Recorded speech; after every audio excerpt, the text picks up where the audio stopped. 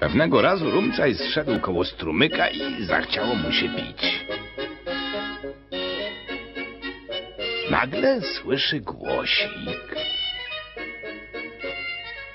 To już koniec mojego zielonego żybota. A za momencik żabka zamieniła się w wodnika olszynkę. Dziękuję ci, Rumcajsie, że nie skróciłeś przedwcześnie mojego zielonego żywota, powiada. Tutaj oto jest dla ciebie nagroda.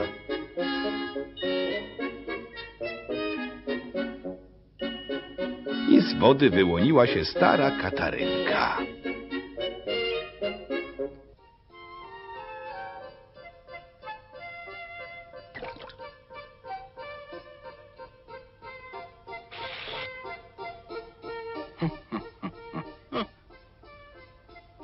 Ten dar na nic się nie zda rozbójnikowi, powiedział Rumcajs. Wiesz co? Uśmiechnęła się Hanka. Ja ci na niej zagram, żeby ci się lepiej jadło kurczaka.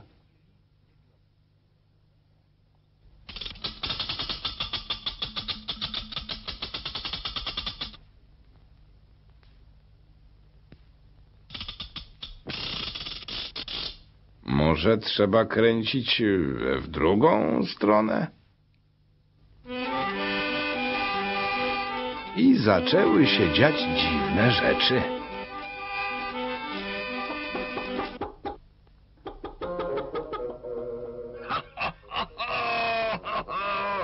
To są dziwy i czary wodnika! Ha, ha! Roześmiał się Rumcajs i wysłał Hankę z Katarynką do jaskini.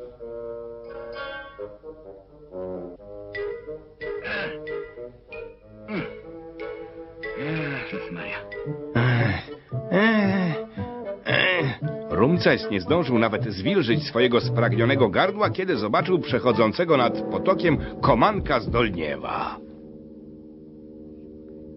Dlaczego tak wzdychasz, skoro masz pusty worek?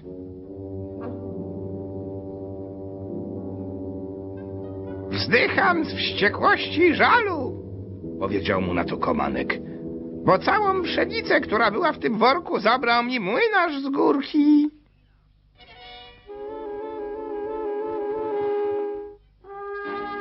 Usiądź sobie i poczekaj, rzekł Rumcajs.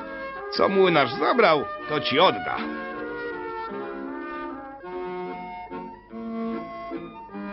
Młynarzu, ukradłeś z tego worka pszenicę chałupnikowi Komankowi.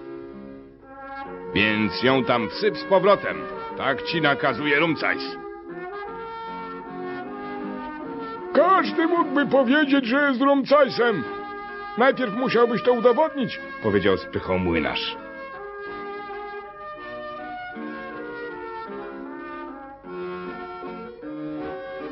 No dobrze, powiedział Rumcajs. Dopóki nie oddasz komankowi pszenicy, nie zmielisz ani ziarenka. He, jeszcze się zobaczy. Mruknął młynarz. I zawołał swoją córkę. Mm, było to piękne dziewczę, wykarmione białą mąką i czerwonymi jabłkami. Rękach trzymała oszroniony dzban liczyńskiego piwa i zaczęła się uśmiechać do Rumcajsa.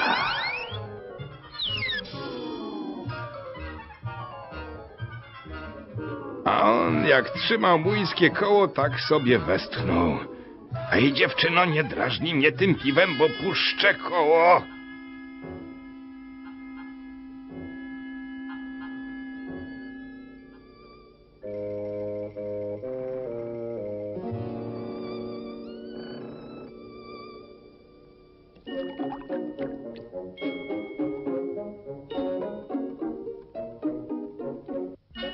Hanko, biegnij szybko z Katarynką do młyna na górkę!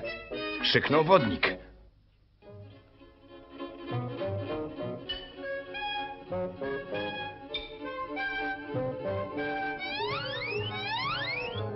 Tak się tu sprzysięgliście na mojego rumcajsa. Mamicie go piwem i dziewczęcym uśmiechem. Rozzłościła się Hanka i zakręciła korbką Katarynki do tyłu.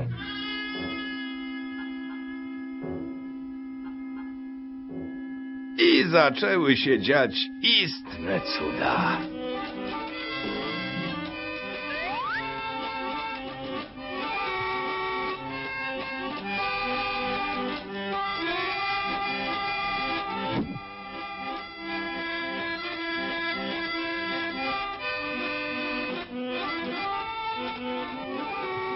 Hanko, już dosyć! krzyknął Rumcajs.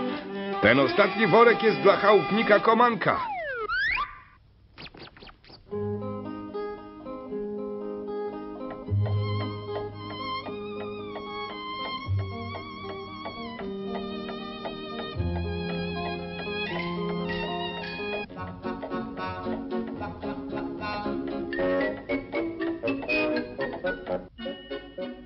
Poszli do domu.